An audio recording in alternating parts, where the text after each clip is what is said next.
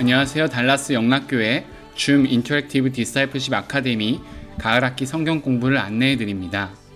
개강은 9월 첫째 주 주일 이후에 합니다. 수강 기간은 10주에서 12주이며 강사분의 재량에 따라서 하도록 합니다. 수강 신청 방법은 각 강사에게 연락하시고요.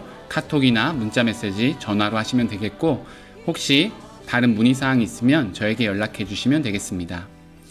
첫 번째 강의입니다. 주제는 어 성경이 읽어지네 신약에 대해서 같이 배우고요. 시대의 흐름에 따라 성경 목록을 배치하고 성경 전체의 주제를 파악하며 중요한 장소는 지리적으로 알게 함으로써 성경 읽기를 도와주는 강의입니다.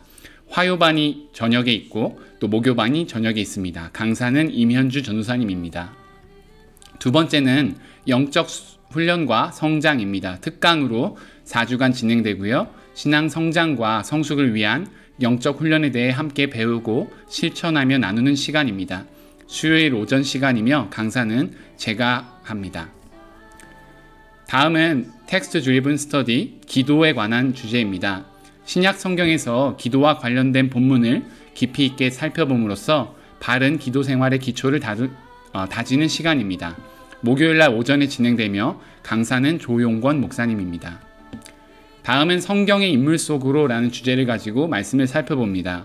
구약의 아담에서 시작해서 신약의 예수 그리스도까지 성경에 등장하는 사람들에 대해서 배우는 시간이며 이것을 통해서 하나님의 온전하고 완전한 섭리를 배우는 시간입니다. 그럼으로써 우리는 하나님의 뜻과 계획들을 발견하게 될 것입니다. 시간은 금요일 날 저녁이며 강사는 배윤숙 전도사님입니다. 다음은 마가복음 성경 공부입니다. 예수님은 누구이신가? 복음과 하나님 나라, 제자도는 무엇인가? 라는 그리스도인들이 알아야 될 본질적인 물음에 대해서 마가복음을 통해서 배우게 됩니다. 시간은 토요일 날 저녁에 진행되며 강사는 이정우 선교사님입니다.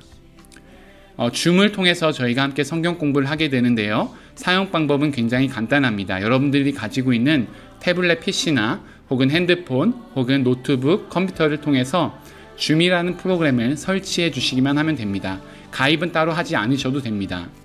다음은 줌 사용 에티켓에 대해서 간단하게 말씀드리려고 합니다. 첫 번째는 주변에 소음이 없는지를 확인하고 최대한 조용한 환경에서 참여해 주시기를 부탁드립니다. 또 다른 사람에게 내 얼굴이 잘 보이, 보일 수 있도록 카메라 방향을 세팅해 주세요. 또한 수업 시간 5분 전에는 입장해서 준비된 자세를 보여주세요. 또 수업에 함께하는 성도님들과 함께 반갑게 인사를 나누도록 합니다. 가급적이면 화면을 끄지 말고 얼굴을 보면서 대화를 하는 것이 훨씬 더 유익하고 또 서로에게 도움이 될 것 같습니다. 단 특별한 상황에서는 잠시 화면을 꺼도 괜찮습니다.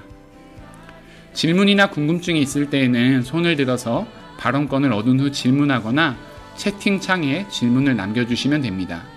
강사가 말할 때에는 본인의 마이커를 음소거 해주세요. 적극적으로 모든 수업에 임해 주시기를 부탁드리고요. 끝날 때에는 강사의 기도로 마치고 다 같이 인사하고 퇴장하도록 합니다. 문의 및 질문 사항은 저에게 연락해 주시면 됩니다. 전화나 카톡, 이메일로 연락을 주시면 언제든지 빠른 시간에 답변을 드리도록 하겠습니다. 함께 이 말씀을 끝으로 광고를 마치려고 합니다. 오직 우리 주, 곧 구주 예수 그리스도의 은혜와 그를 아는 지식에서 자라가라. 영광이 이제와 영원한 날까지 그에게 있을지어다. 아멘. Zoom Interactive 성경 공부에 많은 참여와 관심을 부탁드립니다. 감사합니다.